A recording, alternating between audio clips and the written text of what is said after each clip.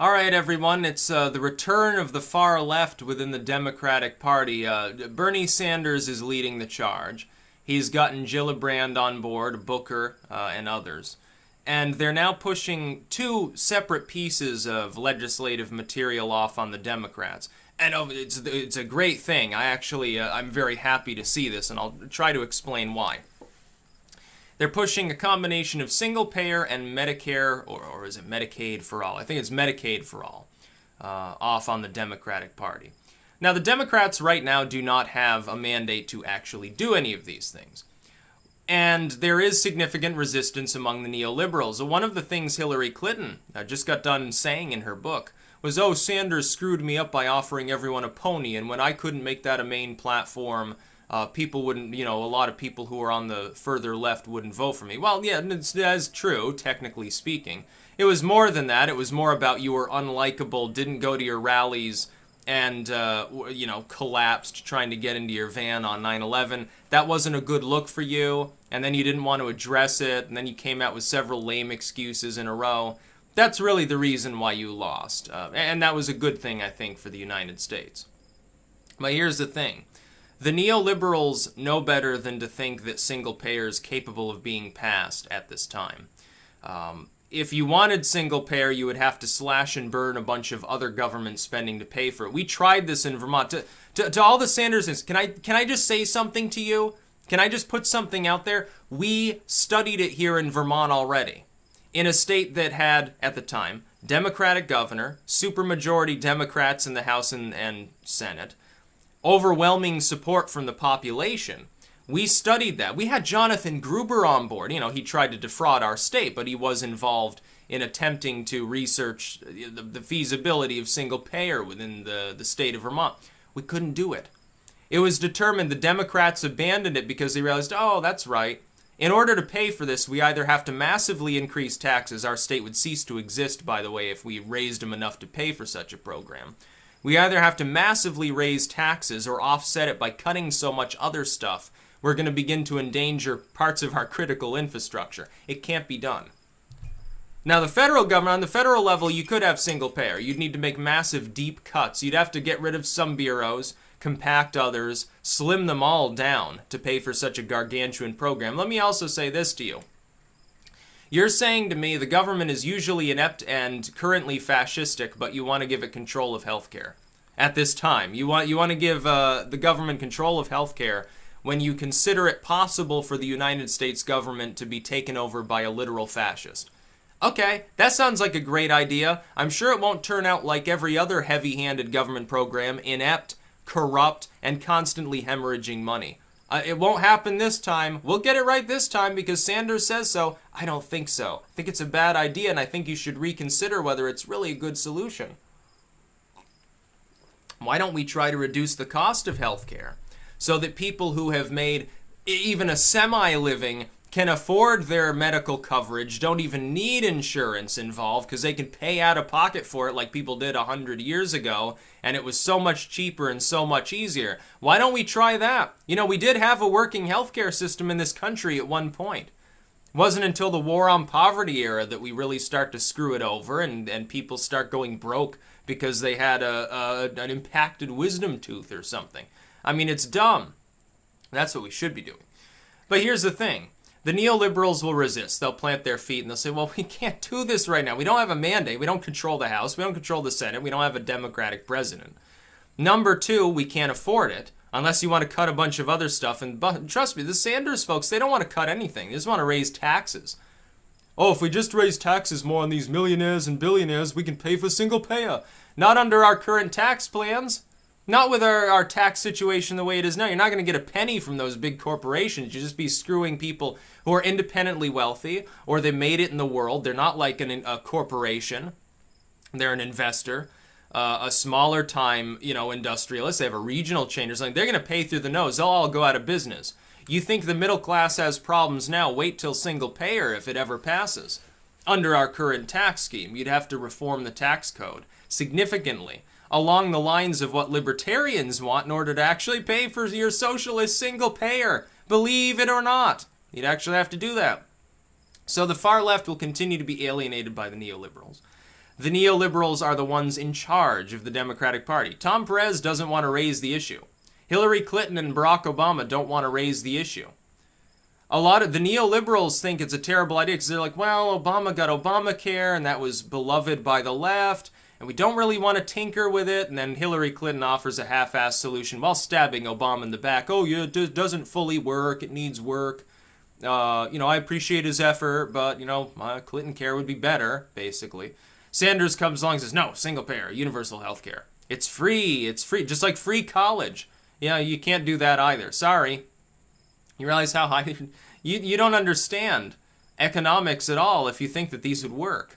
Other countries try this all the time. They've strangulated their own growth as economies. To the point at which even with our sky-high business tax rate, even we're more friendly towards people getting ahead than some of these other nations. Basically, you're born, you enter the, the grind them down socialist system, and you die in poverty being constantly subsidized by central programs uh, in which the government basically makes all the decisions. Yeah, wonderful. The, the American dream writ large. So when the neoliberals reject this, which they will, it's going to make the Democratic Party look real, real fragmented, isn't it?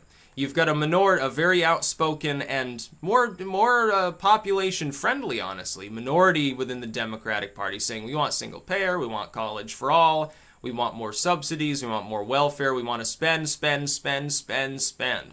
Sane people say, well, you can't do that. The problem is there's no sanity left in the Democratic Party. And the neoliberals are terrified of Sanders. He's the most popular person there. He's a, Sanders is the most popular Democrat, and he's not even a member of the Democratic Party. Let's put it that way. There's your problem right there. Your most popular figurehead's not even in your party. If ever there was a symbol of a schismatic movement, it was Bernie Sanders. Good on him, by the way. You're doing irreparable harm to the Democratic Party. Clinton is technically right when she says this. I just don't see that as a problem because the neoliberals are so bad, it's like, who cares? Let the Democratic Party crash and burn and try to rebuild itself. They need that pressure. The Democrats should flock to the far left right now. You should be supporting uh, Sanders over the Perez's and Clintons. I'll tell you why if you can put enough pressure on your party, if they like get hammered in the midterms, they lose 2020, uh, then the party will reform itself. It will change form.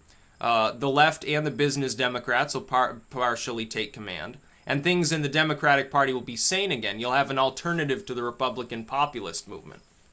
If you refuse, if you stick with the neoliberals, give them their half-assed victories, we continue to stagger along as we are now. Now, I have hope that over the next couple of cycles at least, that reform will happen. I think it's not long in coming.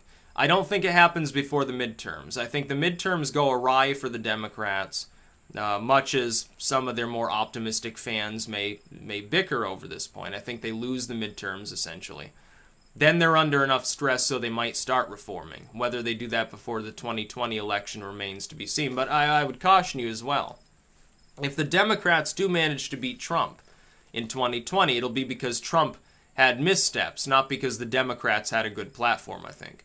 Uh, it'll be a boring neoliberal. Social stress will continue to incline on the far left because, I mean, it won't have anything in common with their policies. They'll be seen as a sellout. They'll be a one-term disaster, like, uh, you know, like Carter or something. And then uh, their asses will get kicked by some other Republican, probably younger, probably from the libertarian fringe. You might think of Rand Paul or somebody like that. That's my longer term prediction, assuming things remain stable uh, in their course of movement. Uh, but no, you're not going to get your single payer over the next few years at the very least. I hope you never get it. To tell the truth, I hope you don't. If you do, I hope it's because some left libertarian decided, hey, oh, we'll just cut a bunch of other government bullshit. We'll cut out a bunch of uh, uh, regulations and legalese. The total cost will drop, number one, so it's easier to pay for. You could do this with uh, with education too if you really wanted. Number two, we can always get rid of you know, we can get rid of the surveillance state, the militarized police. We can get rid of some of this other nonsense that nobody needs. Reform the tax code, and we're all set. You know, we draw even. We may even make more of a profit, and we've got single payer now. You could do that. It's possible, but you need to constrain other spending. Otherwise, you're like, oh yeah, you know, you know how you paid a 20% tax rate last year, Ma and Pa? Yeah, sorry, it's 45% now. You're paying the same tax rate that millionaires used to pay.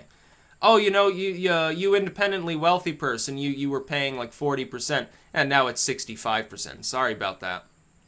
Uncle Sam needs their due. Got to spend it somewhere. We got to have control over all the money. Yeah, this shouldn't be the way that we do business. Uh, we should be shrinking the size of government. If you want a program like that, all well and good. Uh, make cuts that are twice as large as what you're including. And deregulate. That drops the cost. Get some tort reform in there. But I don't think I want the government controlling healthcare anyway because I'm convinced that they're too inept to manage such a thing. Look at the VA. The VA is, is fundamentally like a single payer system for, for veterans. Look at the problems they have constant corruption, uh, inefficient, long waiting times, people getting legionnaires on a regular basis. Yeah, wonderful. There's your healthcare system on socialism. I think we should get government more out of healthcare than putting them in. Why don't you just grant a direct subsidy to veterans and dissolve the VA? Why don't you do that? Let them enter the general healthcare system and just give them subsidies. Wouldn't that be better? It'd be cheaper too. Be cheaper and they'd get better care. A lot of these people, I, I doubt they want to work with the VA. The government decides what does or does not constitute you're actually sick. Oh, Gulf War syndrome? Nah, it's not a real thing. We're not going to pay for you your bullshit. Yeah, so you got exposed to a little bit of sarin. it's okay. It was diluted at the time. No, no. Saddam Saddam had lots of WMDs, but he never deployed them in the Gulf War. Nope, nope. No nerve gas here, people. Yeah, yeah. You've got you've got you gained Tourette's syndrome. That's perfectly normal. Just stress. Go to a therapist. We're not paying for it. By the way, we're going to put you on a wait list for the next six months while you suffer with your symptoms. Yeah, wonderful. Wonderful program. Trump, by the way, campaigned on this being a problem his simple presence maybe makes it a little better because maybe they're uh, afraid to piss him off. But he needs to tackle that issue too. He needs to reform the VA. Or just get rid of it again. And just grant a direct subsidy to the veterans. Why don't you do that? It'd be so much easier. That's about all. Peace out.